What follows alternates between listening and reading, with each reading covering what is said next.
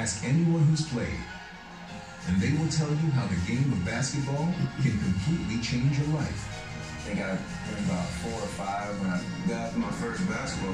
Got planted the seed for what I wanted to do in my life and kind of gave me the love of the game and the passion that I have for the game. While learning the fundamentals, you're really learning teamwork, respect, determination, and that you're part of something bigger than you. You are connected to a community of athletes from across the globe who all speak the same language no matter where they're from.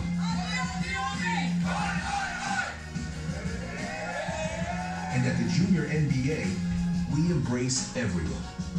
Basketball is a sport that's inclusive, and we're here to spread that NBA magic. We champion change.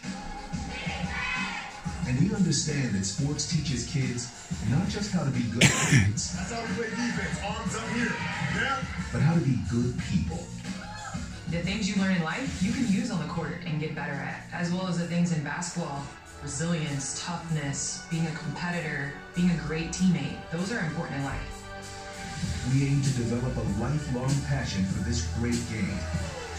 And that passion has been on full display during the coronavirus pandemic. The world's youth could not put the ball down.